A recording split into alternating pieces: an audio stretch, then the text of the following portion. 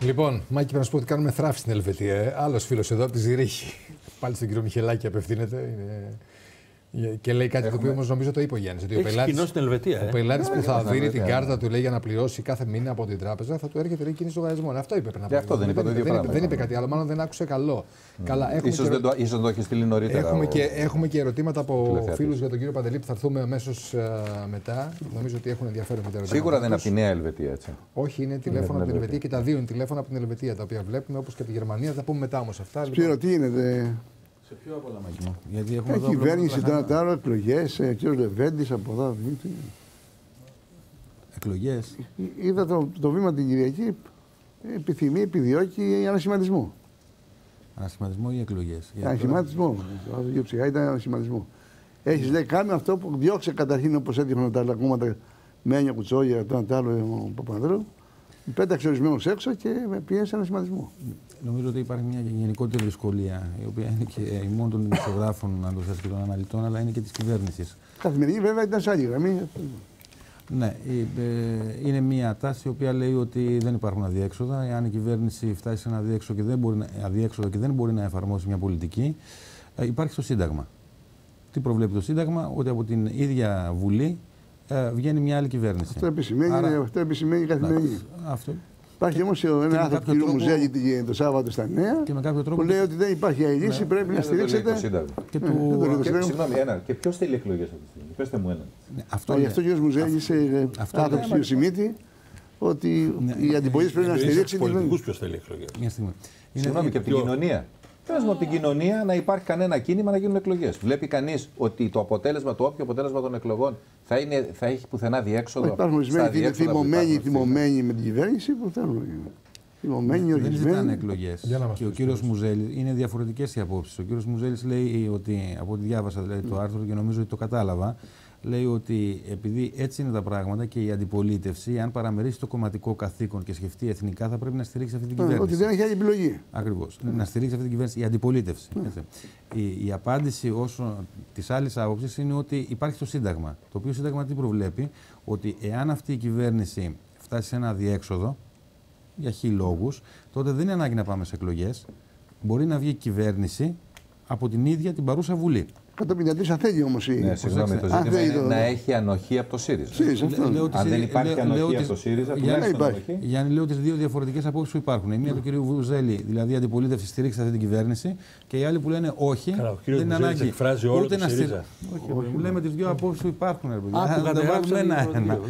Επειδή τον ανέφερε ο Μάκης. Αυτό λέει όμως ο κ. Μουζέλη. Η απάντηση που του δώσανε και έγκριτη αρθρογράφη, εντός ή εκτός εισαγωγικών ήταν ότι υπάρχει το Σύνταγμα που τι προβλέπει το Σύνταγμα; Αν πέσει αυτή η κυβέρνηση, θα βγει καινούρια από την παρούσα Βουλή χωρίς εκλογές. Οι διαλεκτικέ εντολές που έχουμε. Αυτό όμως είναι θεωρητικό. Γιατί το πρακτικό είναι το εξής. Ναι, 151. Γιατί θα πέσει ενδεχομένως αυτή η κυβέρνηση, Γιατί μια πολιτική που είναι σκληρή στο αγροτικό, στο ναι, φορολογικό, στο οικονομικό, δεν θα την ψηφίσουν οι βουλευτές του ΣΥΡΙΖΑ.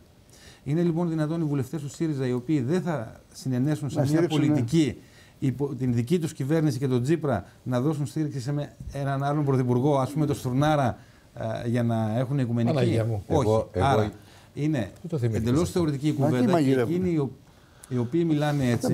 είναι. Δεν ξέρουν στην πραγματικότητα τι λένε. Είναι πραγματικά αδιέξοδο εδώ. Ε, νομίζω ότι είναι πιο σοφή η αντιπολίτευση η οποία λέει αφήστε τον Τζίπρα να τα βγάλει πέρα και να περάσει όλες αυτές τις πολιτικές. Να, να υποστεί το πολιτικό κόστος το οποίο το υφίσταται. Έτσι, με πιο χαρακτηριστικό παράδειγμα το αγροτικό. Και μετά, όταν ε, θα είναι πολύ έντονη η δυσαρμονία του εκλογικού σώματος με την κυβέρνηση να ανοίξουν οι διαδικασίες. Αυτό λέει, αν το θέλετε, και ο Μητσοτάκης, ο οποίος ψάχνει να βρει τρόπο πια να απεγκλωβιστεί και να απαγκιστρωθεί από τη θέση που είχε πριν εκλεγεί αρχηγός σκληρή αντιπολίτευση, ας πούμε, για καμία συνένεση. Όχι, δεν έχει πέσει, να βρει τρόπο πέσει τώρα. για να μπει στην λογική. Κάποιοι σήμερα λέγανε ζητείτε που είναι ο Μητσοτάκη. Και ο Μεϊμαράκης με τον Καραμανλή για συνένεση, αλλά όχι λευκή εντολή. Έτσι, αυτό είναι το πλαίσιο. Αλλά νομίζω ότι το μεγαλύτερη ζημιά, όσο και αν φαίνεται περίεργο στην κυβέρνηση, την κάνει το αγροτικό μάκι. Mm. Γιατί το αγροτικό αποδομεί, αν το θέλεις, στον αριστερό της χαρακτήρα. Δηλαδή και επειδή η κυβέρνηση διέρχεται όλων των τρόπων που είχαν διέλθει και οι προηγούμενοι, από το να υποδαβλίζει τον κοινωνικό αυτοματισμό μέχρι να συκοφαντεί τους ε, ε, αγρότες. και μέχρι να καταφεύγει στα χημικά και στην καταστολή, αλλά και στην ουσία της άποψής της, η οποία αν δεις αυτό το κοκτέιλ των μέτρων, φορολογικό, ασφαλιστικό και αύξηση του κόστους παραγωγής για τους αγρότες, τι κάνει, εξοντώνει τη μικρή καλλιέργεια, συντηρεί ενδεχομένως τη μεσαία και ευνοεί τις μεγάλες συγκεντρώσεις. Άρα, ούτε στο σκέλος της καταστολής, ούτε στο σκέλος της ουσιαστικής αναδιάρθρωσης της αγροτικής καλλιέργειας δεν συνάδει αυτή η πολιτική με μια αριστερή κυβέρνηση. Και γι' αυτό χάνει σημαντικότατα ερίσματα που είχε στον αγροτικό χώρο και οι οποίοι είχαν στηρίξει αυτή την κυβέρνηση από το 2012 και μετά και μέχρι το δημοψήφισμα. Και μάλιστα με κάθετε θέσει ότι ακόμα και έξω από το ευρώ. τόσα χρόνια πάντα ήταν οι αγρότες που θέλουν συνεχώς και άλλα και άλλα. Έτσι. Σωστό είναι αυτό. Yeah. Αλλά εδώ πέρα να σημειώσουμε κάτι. Ότι οι αγρότες που κινητοποιούνται τώρα και τους έχει ξεφύγει σε μερικούς και το λένε, δεν είναι οι παλιοί αγρότες μόνο του όλα τα κιλά, όλα τα λεφτά είναι νέοι αγρότες που μπήκαν εν, στο, εν, εν, τω μεταξύ στην παραγωγή. βλέπουμε και κιόλας. πού. Η αλήθεια είναι ότι βλέπουμε πολύ νέους Η αύξηση της φορολογίας ναι. στο 26% είναι 26% είπαμε, κύριε 26% είναι η φορολογία, οι ασφαλιστικές φορές είναι 20, είναι 6%. 23% ΦΠΑ στους σπόρου και αυτό που ανέβασε. Το πηγαίνει αν το θέλεις να Τέλος επιτιδεύματος, προκαταβολής, Έχουν φτιάσει όμως τα τρακτέρ και δεν είναι ευθυνά τα τρακτέρ. Σε ένα 65% φορολογία και με αυτά θα πρέπει να ε, καλύψουν και προηγούμενες ε, δόσεις προς τράπεζες που είχαν υποχρεώσεις κτλ. Πραγματικά εξοντώνει και υποχρεώνει. Και εδώ είναι το πραγματικό πρόβλημα, το θέλετε. Είτε αυτή της κυβέρνησης είτε της επόμενης. Αν έχεις έναν πληθυσμό αγροτικό που είναι περίπου 700.000 και οθεί ε, εκτός παραγωγής του 300, τι θα τους κάνεις αυτούς; Θα έχεις άλλους 300.000 άνεργους; Υπάρχει ιδιαιτερότητα του μικρού κλήρου που υπάρχει. Ναι. Αλλά για αυτό που ρώτησε να ξαναγυρίσω και αμέσως μετά συνεχίζουμε. Ε, σκέψη, πιθανότητα, ενδεχόμενο εκλογικής αναμέτρησης κάλπης από το ρεπορτάζ που Σε επίπεδο πληροφορίας, αν θέλετε, η άποψη, αυτή που έχω εγώ πληροφόρηση είναι ότι στο Μαξίμου την έχουν απορρίψει. Το συζητούν θεωρητικά. Τώρα δεν ξέρω αν το συζητήσαν και χθες και αλλάξαν άποψη, αλλά από την περασμένη εβδομάδα που ναι. είχε πέσει στα τραπέζια κτλ. το είχε απορρίψει ο ίδιος ο Τσίπρας. Και μάλιστα έβγαζαν και μια αισιόδοξη άποψη, η οποία είχε όλο το πλαίσιο. Ε, πιστεύω, δηλαδή, Σπύρο, η αισιόδοξη άποψη ότι... και τελειώνω εδώ. Ναι, ήταν ναι. ότι ε, θα πάει καλά η αξιολόγηση και ότι σιγά σιγά θα ξεμπλοκαριστεί. Γι' αυτό βγαίνει και ο Τσίπρας και μιλάει και λέει ας πούμε, ότι ε, ευθύνες στους ξένους κτλ. Ότι οι αγρότες από την Πέμπτη Παρασκευή θα μαζευτούν και θα διαλυθούν γιατί έχουν και εσωτερικές ε, αυτές και ότι το πράγμα θα αρχίσει να στρώνει. Είτε ξέρουν κάτι είτε είναι σε άλλο κόσμο. Εσύ πιστεύεις ότι είναι, δηλαδή μπορούν, μπορούν αυτά τα μέτρα να περάσουν στην κοινωνία; Ε, εντάξει, να ψηφιστούν μετά η εφαρμογή. Εδώ θα έλεγα ότι είναι η εφαρμογή η ηλίθεια.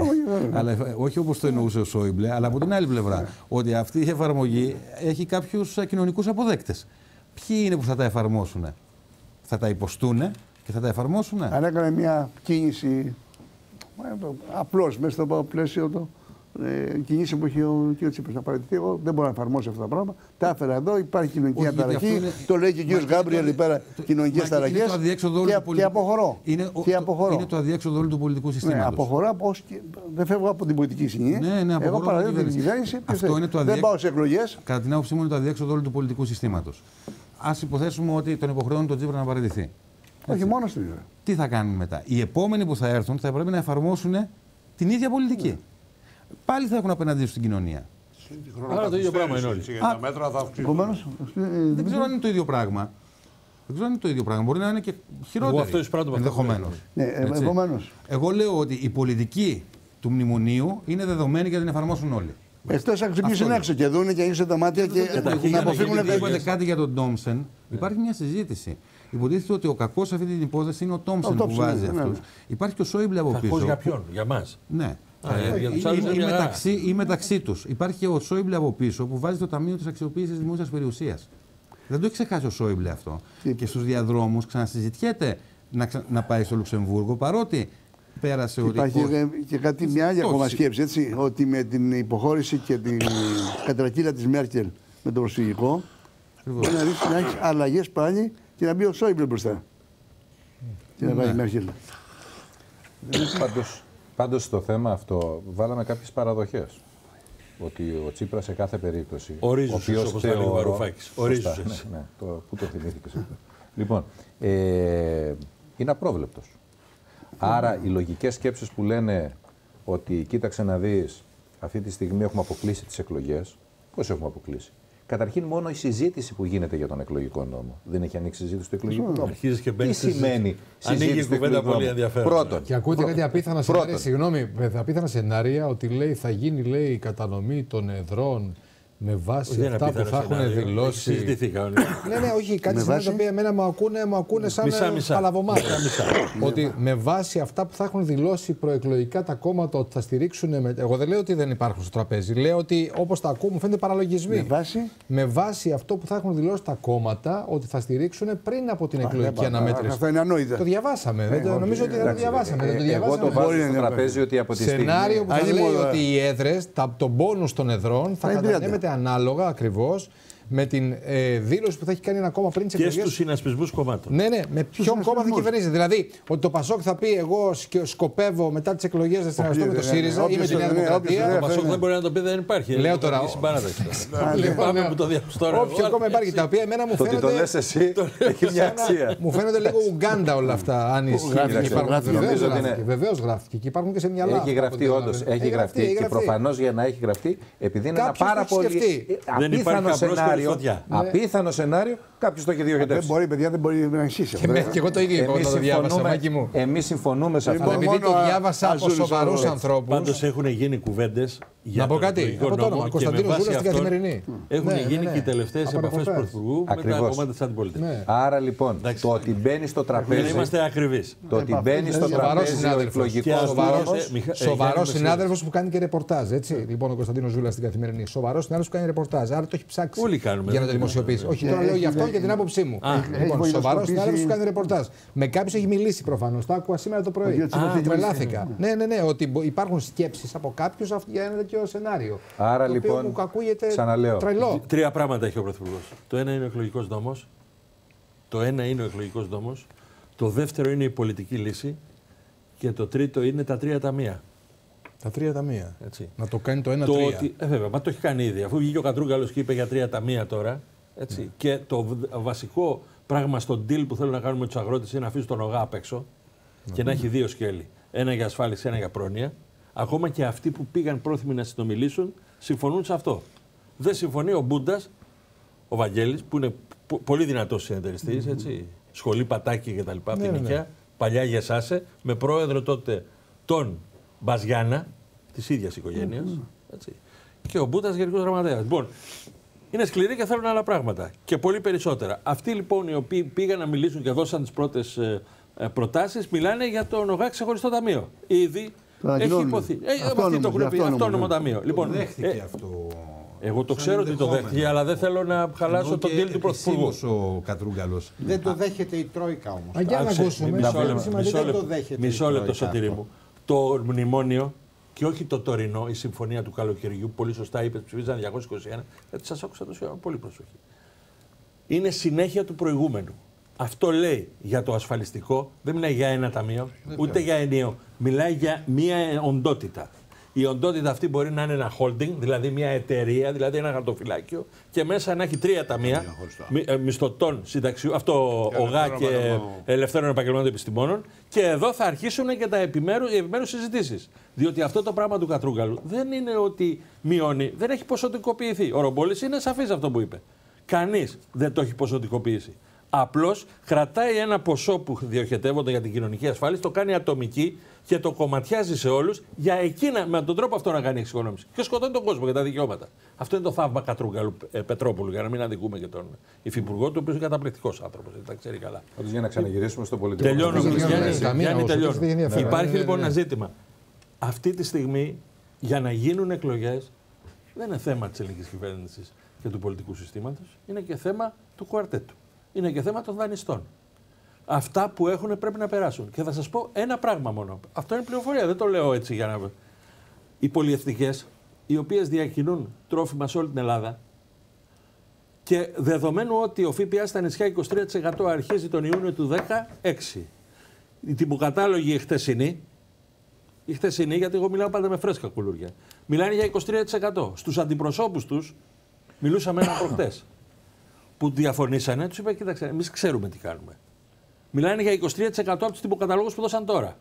Μιλώ για αυτούς που διακινούν λάδια, παγωτά, γάλατα, νερά. Έτσι. 23% στα νησιά. Επομένως, υπάρχουν πέρα από αυτά που έχουν συμφωνηθεί και κάποια που είναι σε εξέλιξη και που θα κλείσουν με αυτά τα πρόσθετα που γράφει ο κύριος Τόμσεν στο άρθρο του. Διότι ο Τόμσεν δεν είναι απλός υπάλληλος.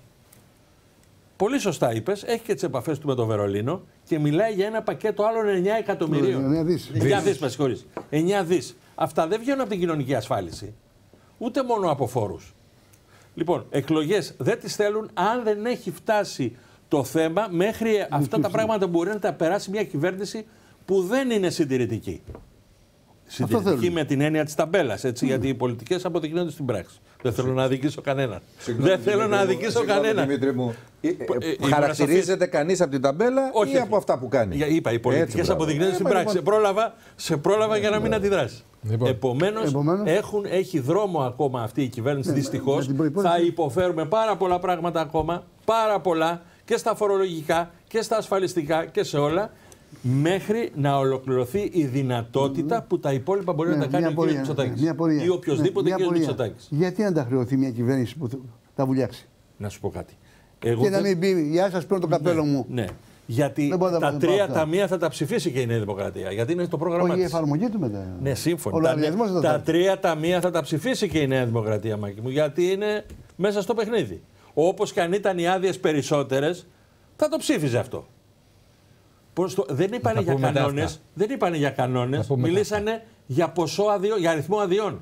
Θα τα πούμε μετά αυτά. Μισό, μισό, μισό. Να ρωτήσω το σωτήριο των τριών ταμείων. Ναι, θα τα πούμε μετά. Όχι, δεν σταματάμε. Ναι, θα τα ναι, πούμε ναι, μετά. αυτά. Όλα τα λέμε εδώ. Πάντως αφήσαμε το κομμάτι στη μέση με το θέμα της πολιτικής. Όταν είπαμε ότι οι εκλογέ κανεί δεν πρόκειται να τις αποκλείσουμε. Ότι ο Τσίπρας είναι απρόβλεπτος και το έχει αποδείξει μέχρι τώρα πορεία. Άρα λοιπόν πάρα πολύ απλά, γιατί θα πρέπει, εμείς πούμε σαν δεδομένο ότι επειδή το θέλουν οι ξένοι, θα πρέπει να υποχρεωθεί να εφαρμόσει κάποια πράγματα. Η συμφωνή, η, υπάρχει μια τάση μέσα στο Μαξίμου. Δεν είναι η κρατούσα. Συμφωνώ με τον ε, Σπύρο.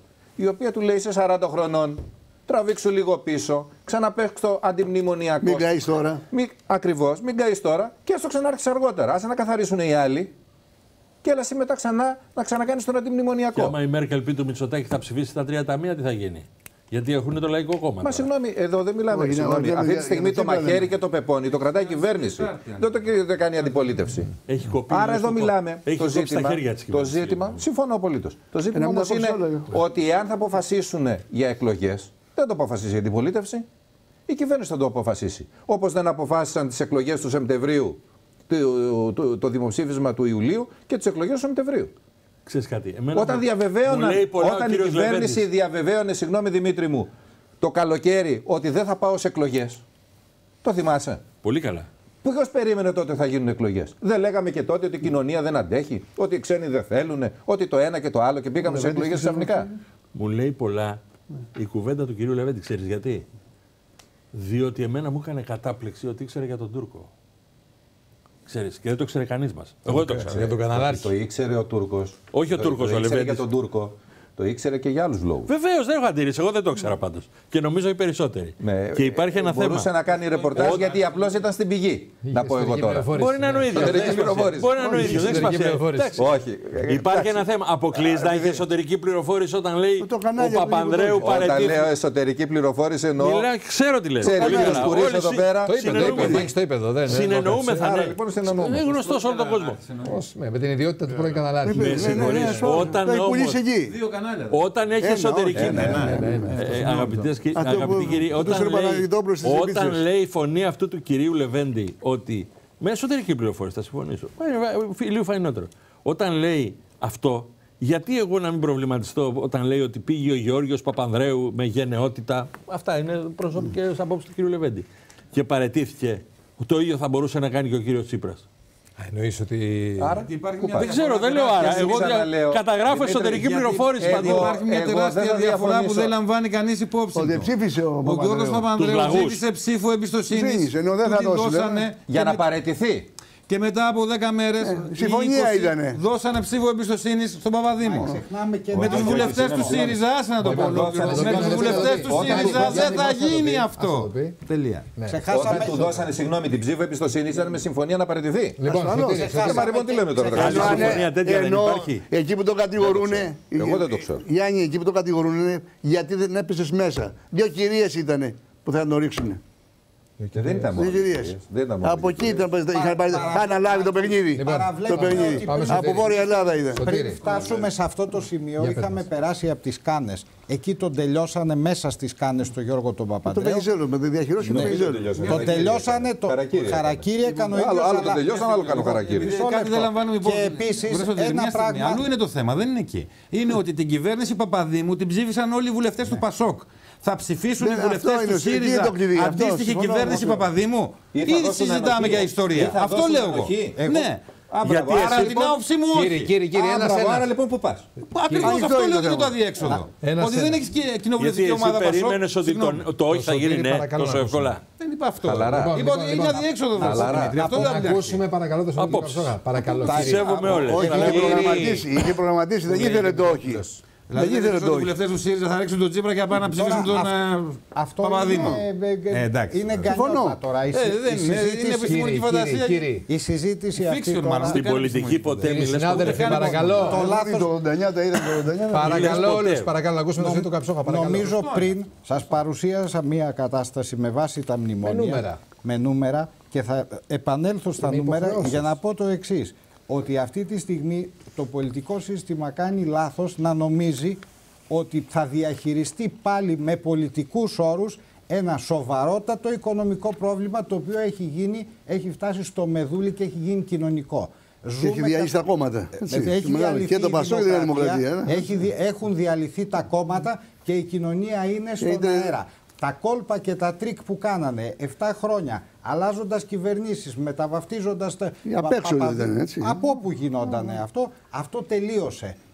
Το θέμα λοιπόν είναι το αν θα επιχειρήσουν όλοι αυτοί οι παλαιοκομματικοί τύπου Λεβέντη και δεν ξέρω τι, να διαχειριστούν πολιτικά με μοντέλα αυτά θα πέσουν έξω. Και θα σας πω γιατί θα πέσουν έξω. Διότι αυτή τη στιγμή... Χωρίς τον ξενοδόχο και ο Βεβαίως, μέσα σε όλα τα άλλα ο Τόμσεν, αν διαβαστεί σωστά η επιστολή του, γιατί ο Τόμσεν αυτή τη συντάσσει πάρα πολύ καιρό, δεν τη συνέταξε τώρα και συμβουλεύτηκε ανθρώπους από ό,τι γνωρίζω, μιλάει για κοινωνικές εκρήξεις, μιλάει για αναντιστοιχεία των κοινωνικών τάξεων στην Ελλάδα στη συμβολή τους στα φορολογικά βάρη, δηλαδή ότι έχουν επομιστεί βάρη άλλες κατηγορίες οι αδύνατοι, το σύνηθες, όταν βιομήχανοι δεν πληρώνουν, εφοπλιστές δεν πληρώνουν, αστική τάξη διαφεύγει, οι αγρότες που συζητάμε διαφεύγουν για να μην κολακεύουν, να μην λαϊκίζουμε κι εμείς. Θα σας πω λοιπόν μερικά νούμερα τα οποία δυστυχώς τα ξέρει η Και οι μισθωτοί πρέπει να πληρώσουν κι άλλα, δεν Όχι, λέει. Όχι βέβαια. Θα σας πω, θα σας πω, για να ακούσουμε και ενδιαφέρον Η γνώμη μου εμένα είναι γνωστή ότι είμαι κατά του μνημονίου και από την πρώτη στιγμή υποστήριζα ότι αυτό το πράγμα δεν βγαίνει. Τώρα το βροντοφωνάζω ότι δεν βγαίνει και ότι η χώρα είναι στα πρόθυρα χρεοκοπίας για συγκεκριμένους λόγους. Αυτή τη στιγμή το ΑΕΠ είναι 178 δις και από την ώρα που ξεκίνησε η κρίση χάθηκαν γύρω στα 60 δισεκατομμύρια. Έχουν χαθεί. Αυτά τα 60 δισεκατομμύρια χάθηκαν κατά 80% από τις τσέπες μισθωτών και συνταξιούχων. Οι άλλοι δεν συνέβαλαν τίποτα. Θα σας πω λοιπόν δύο στοιχεία τα οποία είναι συγκεκριμένα και κακώς δεν τα χρησιμοποιεί ε, από τη μία ή την άλλη μεριά. Από το 2000, 2000 ε, μέχρι το 2015 ο κρατικός προϋπολογισμός τροφοδότησε με 210 δισεκατομμύρια τα ασφαλιστικά ταμεία. Από αυτά τα 77 πήγαν στον, ΟΓΑ. πήγαν στον ΟΓΑ. Αυτή τη στιγμή λοιπόν η Τρόικα λέει δεν θέλω κρατική επιχορήγηση και την έχει περιλάβει στα μνημόνια. Δεν θέλω να, το, να πληρώνει το κράτος. Ποιος δεν πάει αυτά, πότε βγουν αυτά; Τώρα θα το φτάσουμε λοιπόν σε αυτό το ποιος θα το Πάμε λοιπόν. με, βάση, με βάση τα στοιχεία τα οποία εγώ παρακολουθώντας το Υπουργείο Οικονομικών κάθομαι και αναλύω τι πληρώνει ο καθένας μας. Λοιπόν, το 88% των αγροτών δηλώνει εισόδημα κάτω από 5.000 ευρώ και το μέσο αγροτικό ε, εισόδημα χωρίς τις επιχορηγήσεις που παίρνουν από τα ευρωπαϊκά ταμεία είναι γύρω στις 2.500. Μέχρι 12.000 δεν φορολογούνται από τις επιδοτήσεις, απαλλάσσονται εντελώς. Ποσό λοιπόν 2,2 δις από, τα, από το σύνολο των 2,6 δισεκατομμυρίων των κοινοτικών ενισχύσεων είναι εκτός φορολογίας. Δηλαδή φορολογούνται, είναι εισόδημα αυτό. Φορολογείται η αποζημίωση ε, της απόλυσης και δεν φορολογείται η ενίσχυση που είναι εισόδημα. Λοιπόν, Να πάμε λοιπόν και σε άλλα στοιχεία. Εννοείς οι κοινοτικές ενισχύσεις. Οι κοινοτικές ενισχύσεις. Τότε θα πρέπει να φορολογήσουμε και τα κοινοτικά προγράμματα. Η επιδότηση άλλο πράγμα η ενίσχυση. Η επιδότηση είναι στην καλλιέργεια, η ενίσχυση αφορά τον πάγιο εξοπλισμό. Ναι, είναι διαφορετικά πράγματα. Η επιδότηση είναι σε πρημοδοτή για να τα καλλιεργήσεις. Διότι ξέρει ότι είναι δύσκολη Ένα ποσό για όλα, καταλάβει αυτό. Είναι δύο πράγματα διαφορετικά. Μπερδεύομαι. Λέω Δημήτρη μου δεν ε, Κατάλαβες τι λέω και εσύ. Στι άλλες χώρες φορολογούνται λοιπόν, οι επιδοτήσεις; Φορολογούνται. Φορολογούνται οι επιδοτήσεις. Εδώ μπαίνουν στα έσοδα και αφαιρείται η δαπάνη. Άρα ε, μπαίνει λοιπόν, η διαφορά. Αυτά όλα, τα, αυτά όλα τα στοιχεία λοιπόν είναι εις γνώση των, ε, του κουαρτέτου. Δεν το συζητούν αυτό το θέμα και είναι προαπαιτούμενο για να καθίσουν στο τραπέζι. Όταν λοιπόν αυτή τη στιγμή έρχεται από την άλλη μεριά μια μαξιμαλιστική πρόταση που λέει εγώ δεν θέλω να φορολογούμε, δεν θέλω να πληρώνω ασφάλιστρα, δεν θέλω να, θέλω να μου καλύπτουν την, ε, τα, τα, τα, καύσιμα και, την, ε, και, τα, ΦΠΑ στα, ΦΠΑ στα διάφορα όλα αυτά. Δεν γίνεται συζήτηση διότι, να πω γιατί δεν γίνεται, διότι είναι στη μέγενη η κυβέρνηση. Από τη μια απορρίπτεται από τις κοινωνικές ομάδες και από την άλλη αυτό που πάει απορρίπτεται και από την Τρόικα, από το κουαρτέτο. Αυτό, εκεί δεν υπάρχει μέσος όρος όταν σε καλούν και θα έρθουν εδώ στις 26 να συζητήσουν ή στις 25 πότε είναι, θα καθίσουν και θα βάλουν κάτω αυτά τα, ναι, τα αυτά με τους αγρότες και εγώ συμφωνώ σε ορισμένα σημεία χάρη με τα τραχτέ, το στόλο, αυτά τα πράγματα, κάπου στοιχίζουν λεφτά.